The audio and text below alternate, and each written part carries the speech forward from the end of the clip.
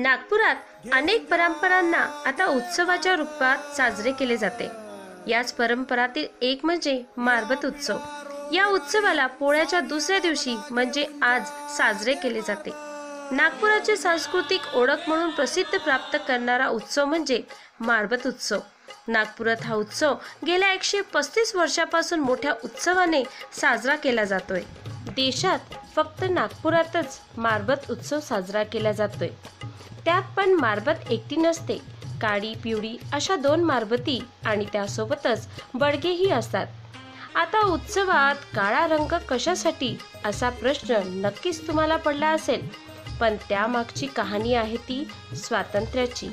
भोसले घराण्यातील बकाबाईनं इंग्रजांशी हात मिळवणी केली होती. आपल्यावर अन्याय करणाऱ्या इंग्रजांना जाऊन भेटल्याच कशा? असं म्हणत तरुण पेटून उठले. आणि अठराशे एक्क्याऐंशी साली श्री देवस्थान पंच कमिटीची स्थापना झाली. इंग्रजांचे अत्याचार लगातार सुरूच होते. या गुलामगिरीतून सुटका मिळावी यासाठी सत्याग्रहींची गुप्त बैठका व्हायच्या. त्यासाठी अठराशे पंच्याऐंशी साली तेली तलानी समाज पेटून उठला आणि स्थापना झाली ती पिवळी मारबत उत्सव कमिटीची.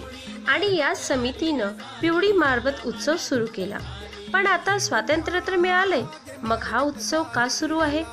तर आता याच मारबतीच्या माध्यमातून समाजातील अनिष्ट चालीरीती आणि अन्यायाचा निषेध केला जातोय. नेहरू पुतळ्याजवळील चौकात दोन्ही मारबतीची भेट होते आणि सुरू होते ती खरी मिरवणूक. मिरवणूक संपल्याशिवाय लोक जेवणही करत नाही इतकी या मारबतीची श्रद्धा आहे. पण यंदा मात्र कोरोनाचा सावट आहे. तरीही या उत्सवात खंड पडणार नाही आणि कमी लोकात हा उत्सव साजरा केला जाणार आहे. दरवर्षी रोगराई पळवून नेण्याचं आवाहन या मारबतीला केलं जात आहे पण गेल्या दोन वर्षापासून जगावर संकट कोसळलंय. ते म्हणजे कोरोनाचं. त्यामुळे कोरोनाला घेऊन जागे मारबते असं आव्हान असं साकडं नागपूरकरांनी यंदा मारबतीला घातलंय. तर कसा वाटला आजचा व्हिडिओ आम्हाला नक्की कळवा.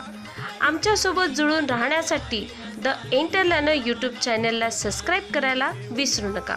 भेटूया नवीन व्हिडिओसोबत. धन्यवाद.